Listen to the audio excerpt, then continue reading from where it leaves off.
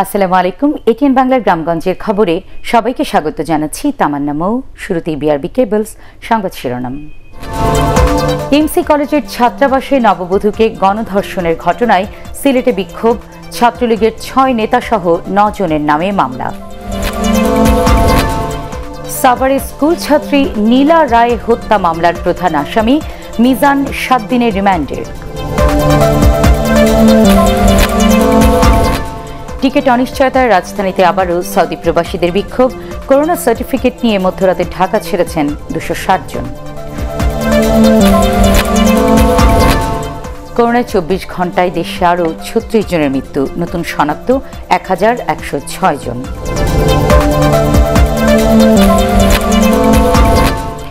এবং অক্টোবরে ময়মনসিংহে চালু হচ্ছে দেশের সবচেয়ে বড় সৌর বিদ্যুৎ প্ল্যান্ট।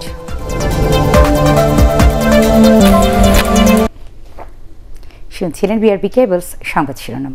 এবার পুরো সংবাদ। সিলেটের এমসি কলেজের ছাত্রাবাসে গণধর্ষণের ঘটনায় দোষীদের বিচারের দাবিতে সড়ক অবরোধ করে বিক্ষোভ করেছেন শিক্ষার্থীরা।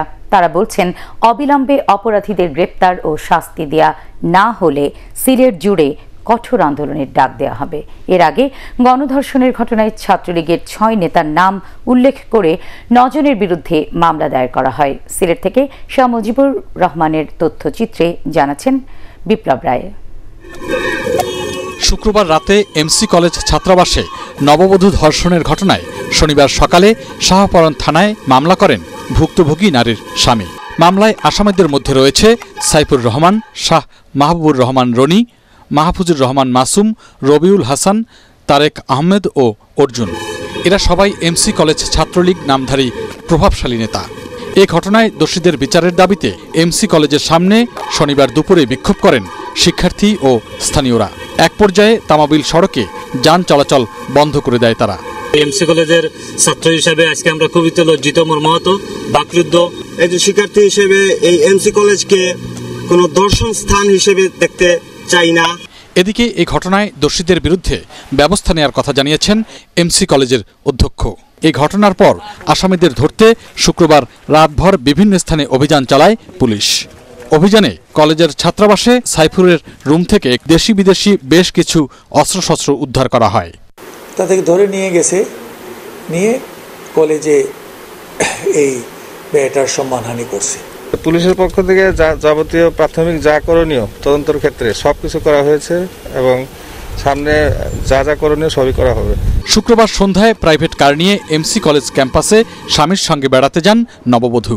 রাত নটার দিকে স্বামীকে মারধর করে ওই নারীকে জোর করে ছাত্রাবাসে তুলে নিয়ে গণধর্ষণ করে কলেজ ছাত্রলীগের ওই নেতারা। খবর পেয়ে পুলিশ গিয়ে ওই নারীকে উদ্ধার করে ওসমানী মেডিকেল কলেজ হাসপাতালে ভর্তি করে। দোষীদের অবিলম্বে গ্রেপ্তারের দাবি জানিয়েছেন স্থানীয় আওয়ামী লীগ নেতাকর্মীরাও। এই ঘটনায় দেশ জুড়েই ক্ষোভ ছড়িয়ে পড়েছে। বিপ্লব রায়, এটিএন বাংলা। খাগড়াছড়িতে ডাকাতি এবং বুদ্ধি প্রতিবন্ধী নারীকে গণধর্ষণের ঘটনায় জড়িত সন্দেহে সাতজনকে গ্রেফতার করেছে পুলিশ।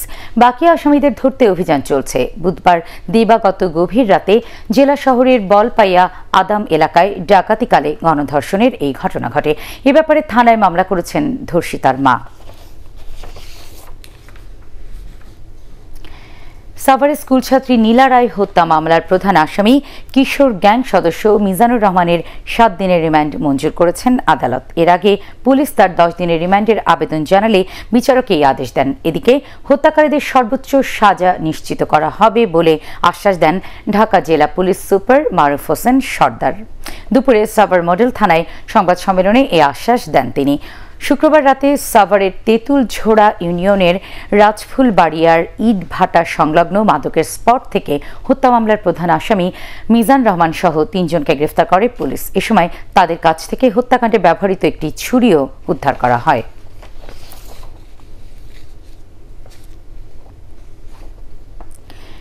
এদিকে নীলা রায়ের হত্যাকারীদের সর্বোচ্চ শাস্তি নিশ্চিত করা হবে বলে জানিয়েছেন সংসদ সদস্য দুর্যোগ ব্যবস্থাপনা ও ত্রাণ প্রতিমন্ত্রী ড এনামুর রহমান। দুপুরে ঢাকা আরিচা মহাসড়কে সাভারের গেন্ডা বাসস্ট্যান্ড এলাকায় নীলা রায় হত্যাকারীদের দ্রুত বিচারের দাবিতে মানববন্ধনে তিনি একথা জানান। সাভার নাগরিক কমিটি এ মানববন্ধনের আয়োজন করে।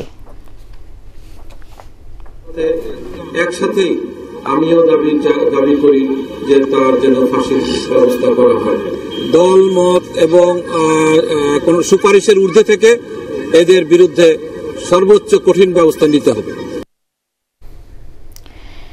টিকিট পাওয়ার অনিশ্চয়তায় রাজধানীতে আবারও বিক্ষোভ করেছেন প্রবাসীরা।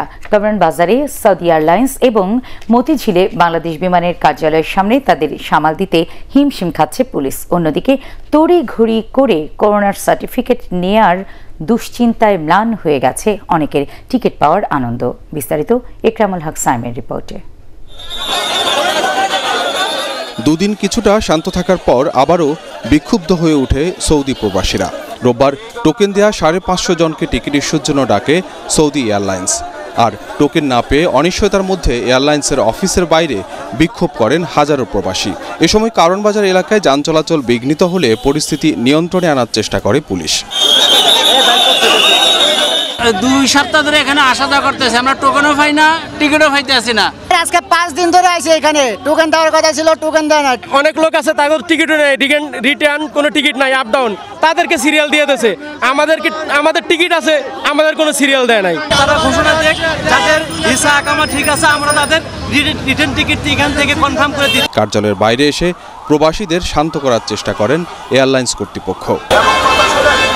একই রকম ভিড় ছিল মতিঝিলে বাংলাদেশ বিমানের কার্যালয়ের সামনেও।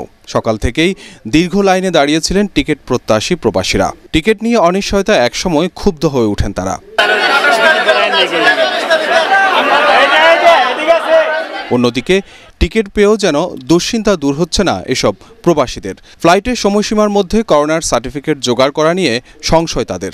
চব্বিশ ঘণ্টা পরে যদি করোনা টেস্টের রিপোর্ট আসে আগামীকালকে দুপুর বারোটায় ফেলার দিছে যেটা জিদ্দার তাদের করোনা টেস্টের রিপোর্ট কীভাবে পাবে? বারোটা তিরিশ মিনিটে ফ্লাইট বাট এখন আমরা ফ্লাইট কনফার্ম করতেছি। বাট এখন কোথায় কোভিড নাইন্টিনের টেস্ট করাবো মানে এটা একটু চ্যালেঞ্জ হয়ে যায়। মহাখালীতে প্রবাসীদের জন্য নির্ধারিত করোনা পরীক্ষার বুথে দেখা গেছে অনেকেই শেষ পর্যায়ে এসে তাড়াহুড়ো করছেন সার্টিফিকেটের জন্য। অবশ্য সেখানকার কর্মকর্তারা বলছেন, অগ্রাধিকার ভিত্তিতে ছয় থেকে সাত ঘণ্টার মধ্যেই প্রবাসীদের টেস্ট রিপোর্ট দেয়া হচ্ছে। কর্তৃপক্ষের নানা আশ্বাসের পরও উদ্বেগ উৎকণ্ঠার মধ্যে দিনভর প্রবাসীরা ভিড় করেন সৌদি এয়ারলাইন্স এবং বিমান অফিসের সামনে।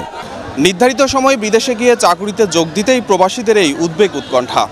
এক দফায় আকামা অফিসার মেয়াদ বাড়ানো হলেও টিকিট প্রাপ্তি নিয়ে শঙ্কা কাটছে না তাদের। তারা বলছেন, এ ব্যাপারে দ্রুত ও কার্যকর পদক্ষেপ নিতে হবে সরকারকে। ইকরামুল হক, সায়েম, এটিএন বাংলা, ঢাকা। এদিকে শেষ মুহূর্তে করোনার সনদ হাতে পাওয়ার পর সৌদি আরব যেতে পারলেন দুশো জন প্রবাসী কর্মী। রাত সাড়ে বারোটার দিকে তাদের নিয়ে ঢাকা ছাড়ে সৌদিয়া এয়ারলাইন্সের উড়োজাহাজ। এর আগে দিনভর করোনা পরীক্ষার সনদ পাওয়া নিয়ে চরম উৎকণ্ঠায় ছিলেন ওই প্রবাসীরা। ফ্লাইট চালুর ঘোষণার পর শুক্রবার সকালেই করোনা পরীক্ষার জন্য নমুনা দেন নির্ধারিত ফ্লাইটের যাত্রীরা। সন্ধ্যার মধ্যে পরীক্ষার ফলাফল বা কোভিড টেস্ট সার্টিফিকেট পাওয়া কঠিন ছিল তাদের জন্য। রাত নটা পর্যন্ত একশো পঞ্চাশ জনের সার্টিফিকেট পাওয়া গেলেও বাকিদের সৌদি আরব যাওয়া অনিশ্চিত হয়ে পড়ে। অবশেষে সরকারের উচ্চ পর্যায়ের হস্তক্ষেপে রাত সাড়ে নটার দিকে অনলাইনে সার্টিফিকেট পেয়ে নিশ্চিন্তে ফ্লাইটে ওঠেন ওই প্রবাসীরা। চব্বিশ ঘন্টায় করোনা ভাইরাসে দেশে আরও ছত্রিশ জনের মৃত্যু হয়েছে। এ নিয়ে মোট মৃতের সংখ্যা বেড়ে দাঁড়াল পাঁচ হাজার একশো উনত্রিশ জনে। মারা যাওয়া ব্যক্তিদের মধ্যে পঁচিশ জন পুরুষ ও এগারো জন নারী। সবশেষ দশ হাজার সাতশো পঁয়ষট্টিটি নমুনা পরীক্ষায় শনাক্ত হয়েছে এক হাজার একশো জন। শনাক্তের হার প্রায় দশ শতাংশ। মোট আক্রান্তের সংখ্যা তিন লাখ সাতান্ন হাজার আটশো তিয়াত্তর জন। পাশাপাশি গত চব্বিশ ঘন্টায় সুস্থ হয়েছেন এক হাজার সাতশো তিপ্পান্ন জন। এ নিয়ে মোট সুস্থ হলেন দুই লাখ আটষট্টি হাজার সাতশো সাতাত্তর জন। শনাক্ত বিবেচনায় সুস্থতার হার পঁচাত্তর শতাংশের উপরে আর মৃত্যুর হার এক দশমিক চার তিন শতাংশ। চব্বিশ ঘন্টায় ঢাকা বিভাগে সর্বোচ্চ তেইশ জন, চট্টগ্রামে আটজন সিলেটে দুজন, এছাড়া ময়মনসিংহ, বরিশাল এবং খুলনা বিভাগে একজন করে মারা গেছেন। স্বাস্থ্য অধিদপ্তরের সংবাদ বিজ্ঞপ্তিতে এসব তথ্য জানানো হয়। করোনা ভাইরাসে আক্রান্ত হয়েছেন শেরপুর জেলা আওয়ামী লীগের সভাপতি ও জাতীয় সংসদের হুইপ মুক্তিযোদ্ধা আতিউর রহমান আতিক।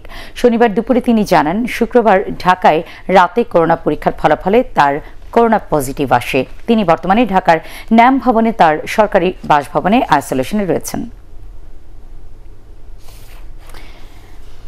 করোনা ভাইরাসে দেশের বিভিন্ন জেলায় পাঁচজনের মৃত্যু হয়েছে। এর মধ্যে বরিশালে মারা গেছেন দুজন। বিভাগের ছয় জেলায় নতুন শনাক্ত হয়েছেন চব্বিশ জন। খুলনায় করোনায় মৃত্যু হয়েছে দুজনের। এই জেলায় ষোলো জন সহ বিভাগে নতুন শনাক্ত হয়েছেন চুয়ান্ন জন।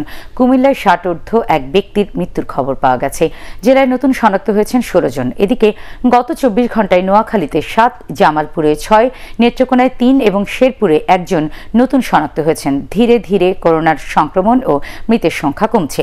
তবে স্বাস্থ্যবিধি না মানলে শীত মৌসুমে করোনার প্রকোপ বাড়ার আশঙ্কা রয়েছে বলে জানিয়েছেন চিকিৎসকরা।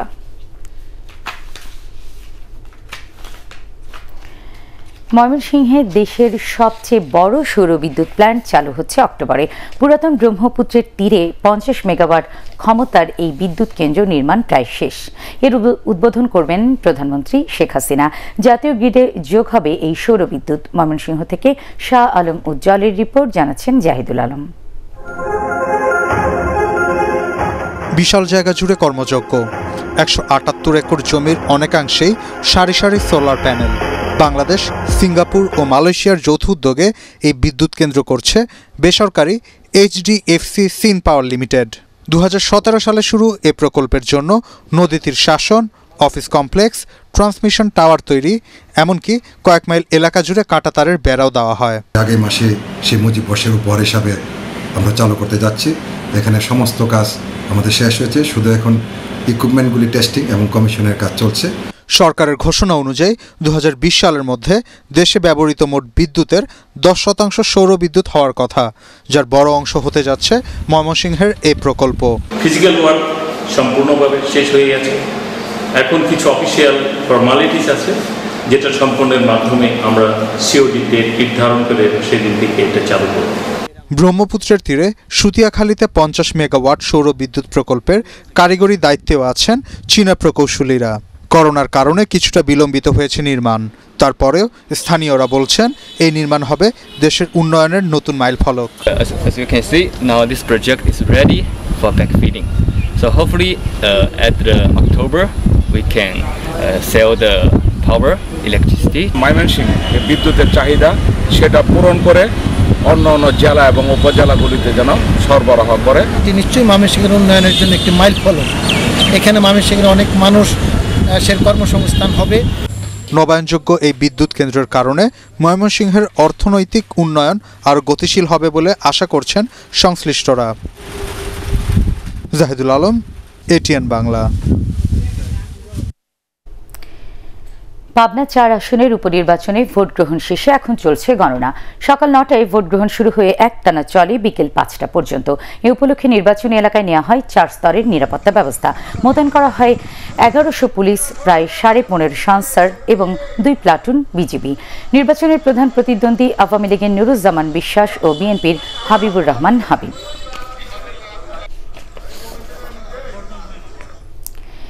এদিকে ভোট বাতিল চেয়ে সংবাদ সম্মেলন করেছেন বিএনপি প্রার্থী হাবিবুর রহমান। রাজনৈতিক নেতাকর্মীদের নামে মিথ্যে মামলা এবং গণগ্রেফতারের প্রতিবাদে দুপুরে তার নিজ বাড়ি শাহপুরে এক সংবাদ সম্মেলনে তিনি এ দাবি জানান।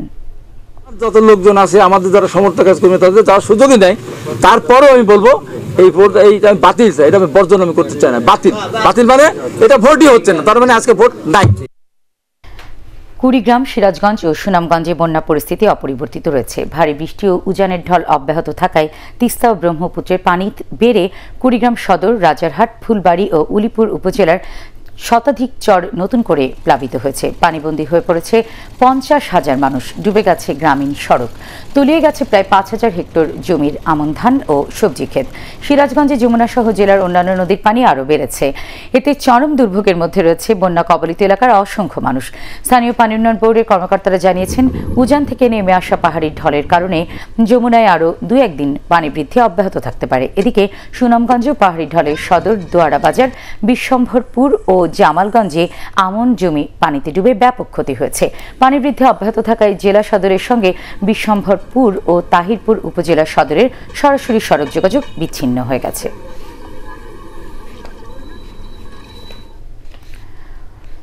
জামালপুরের দেওয়ানগঞ্জে পুরাতন ব্রহ্মপুত্র নদে তীব্র ভাঙন দেখা দিয়েছে। এক সপ্তাহে দেওয়ানগঞ্জ সদর ইউনিয়নের তিলকপুর কাউনের চর বেপারীপাড়া, সরকারপাড়া, শেখপাড়া গ্রামে অন্তত পঞ্চাশটি বসতবাড়ি ও ফসলি জমি বিলীন হয়ে গেছে এ ভাঙনে। স্থানীয়রা জানান, প্রতি বছর ব্রহ্মপুত্রের এমন ভাঙনে শত শত বসতবাড়ি, ফসলি জমি পানিতে মিশে যাচ্ছে। এদিকে শেরপুরের নালিতাবাড়ির ভোগাই নদীর দেড় হাজার মিটার তীর রক্ষা বাঁধ এখন হুমকির মুখে। সম্প্রতি পাহাড়ি ঢলে এই নদীর পানি বৃদ্ধির কারণে বাঁধের অনেক অংশ ভেঙে বসতবাড়িতে পানি প্রবেশ করায় ভিটে মাটি ছাড়া হচ্ছে অনেক মানুষ। স্থায়ী প্রকল্প প্রণয়নের মাধ্যমে শরীয়তপুর সহ সারা দেশের নদী ভাঙন ঠেকাতে সরকার কাজ করছে বলে জানিয়েছেন পানি সম্পদ উপমন্ত্রী এনামুল হক শামীম। সকালে শরীয়তপুরের নারিয়া ও জাজিরার পদ্মার ডান্তির রক্ষা বাঁধ পরিদর্শনকালে তিনি একথা জানান। পানি উন্নয়ন বোর্ডের অতিরিক্ত মহাপরিচালক কাজী তোফাল আহমেদ, প্রধান প্রকৌশলী A K M Wahiduddin Chowdhury ও প্রকল্প পরিচালক আব্দুল হেকিম এ সময় উপস্থিত ছিলেন।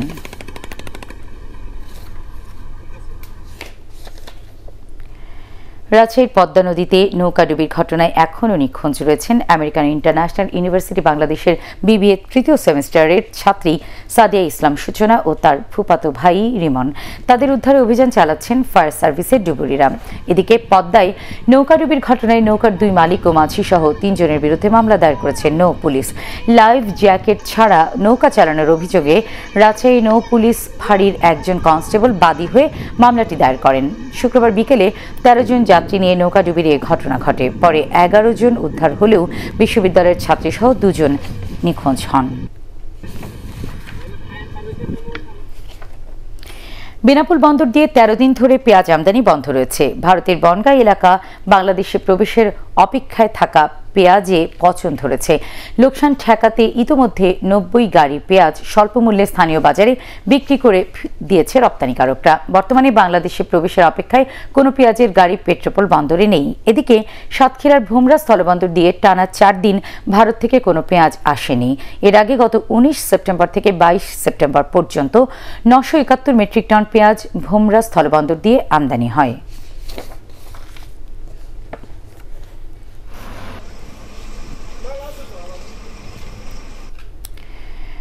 নারায়ণগঞ্জে আবারও যাত্রীবাহী লোকাল ট্রেনের বগি লাইনচ্যুত হয়েছে। সকালে নারায়ণগঞ্জ রেল স্টেশন থেকে ঢাকার উদ্দেশ্যে ছেড়ে যাওয়া ট্রেনটি উকিলপাড়া এলাকায় পৌঁছার পর পেছনের একটি বগি লাইনচ্যুত হয়, তবে এতে কেউ হতাহত হয়নি। এই ঘটনার পর থেকে ঢাকা নারায়ণগঞ্জ রেল রুটে ট্রেন চলাচল বন্ধ রয়েছে। এর আগে গত বৃহস্পতিবার দুপুরে ঢাকা থেকে নারায়ণগঞ্জে যাওয়ার পথে শহরের দুই নম্বর রেল গেট এলাকায় একটি ট্রেনের চারটি বগি লাইনচ্যুত হলে প্রায় দশ ঘণ্টা ট্রেন চলাচল বন্ধ থাকে। শারদীয় দুর্গাপূজায় তিন দিনের সরকারি ছুটিসহ সংখ্যালঘু সুরক্ষা আইন বাস্তবায়নের দাবিতে নড়াইলে মানববন্ধন অনুষ্ঠিত হয়েছে। নড়াইল প্রেস ক্লাবের সামনের সড়কে বাংলাদেশ হিন্দু যুব পরিষদ জেলা শাখার আয়োজনে এ মানববন্ধন অনুষ্ঠিত হয়। সংগঠনের নড়াইল শাখার সভাপতি অনিমেষ বিশ্বাস ও জেলা পূজা উদযাপন কমিটির সভাপতি অশোক কুমার কুণ্ড সহ অন্যান্যরা এতে বক্তব্য রাখেন।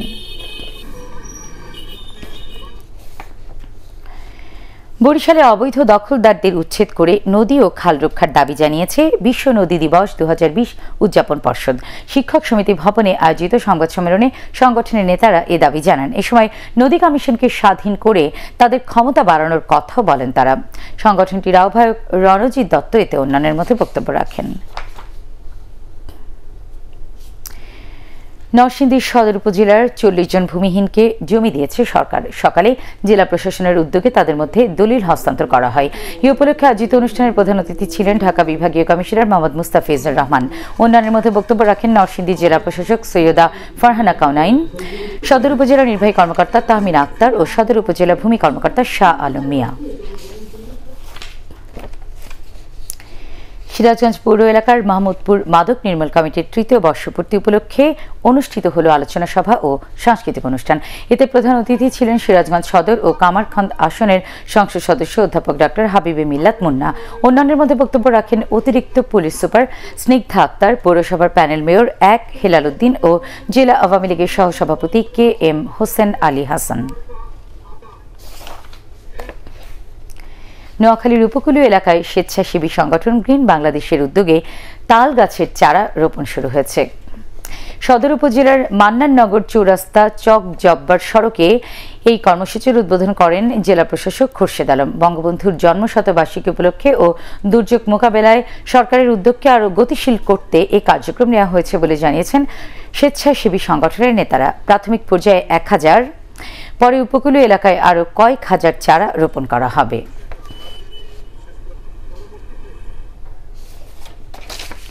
পরবর্তী সংবাদ দেখার আমন্ত্রণ জানিয়ে এখনকার মতো শেষ করছি। করোনা ভাইরাস থেকে নিজেকে সুরক্ষিত রাখতে মাস্ক পরুন, বারবার হাত পরিষ্কার করুন আর এটিএন বাংলা সংবাদ ইউটিউবে দেখতে ব্রাউজ করুন YouTube slash ATN Bangla news আল্লাহ হাফেজ।